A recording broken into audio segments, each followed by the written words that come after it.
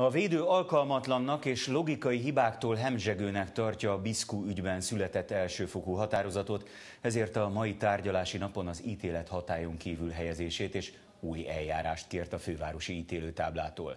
Biszku Béla nem akart élni az utolsó szó jogával, ítélet június 1-én várható.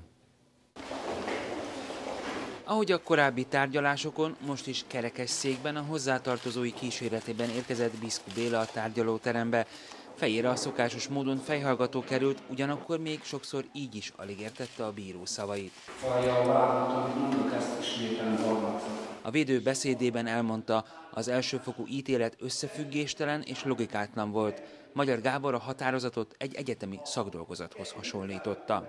Álláspontom szerint e vonatkozásban az elsőfokú ítélet hasonlít egy ilyen szakdolgozatra, megalapozatlan és kidolgozatlan, rengeteg logikai lyuk tátunk benne, amelyet nem sikerült betölteni a bizonyítási eljárás során.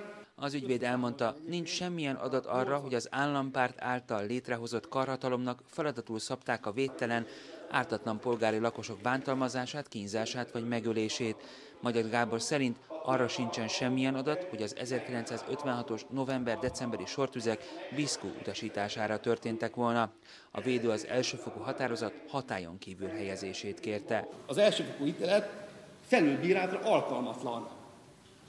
Ezért azt indítványozom, hogy a tisztelt ítélő tábla ezt helyezze hatályon kívül, és utasítsa az elsőfokú bíróságot új eljárásra. Az ügyész szerint az elsőfokú ítélet megfelelő volt, és a bíró kérdésére válaszolva kijelentette, fenntartja az indítványozott büntetést, azaz az életfogytiglani szabadságvesztést. A vádlott nem akart élni az utolsó szójogával. Utolsó szójogán kíván élni a lehetőséggel a vádlott? Nem kívánok élni. A biszkoperben a fővárosi ítélőtábla várhatóan június 1-én hoz ítéletet.